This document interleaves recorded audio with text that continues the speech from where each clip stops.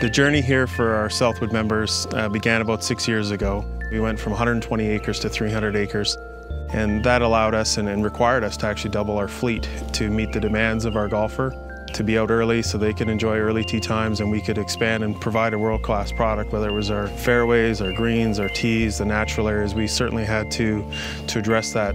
We're very fortunate at Southwood Golf Country Club to be in the people entertainment business first and foremost, or the hospitality industry, and uh, that's the core of what we do.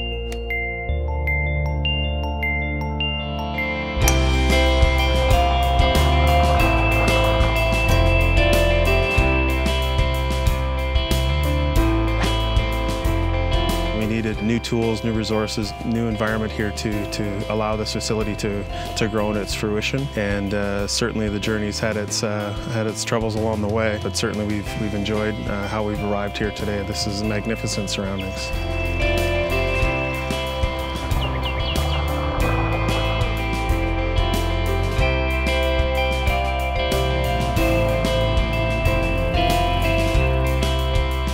One of the things that set National Leasing apart from others was their in-depth knowledge of the golf industry as a whole. So we certainly uh, leaned into Todd and, and, those involved at National Leasing to, to ensure that we had the, the best environment to make the best decision.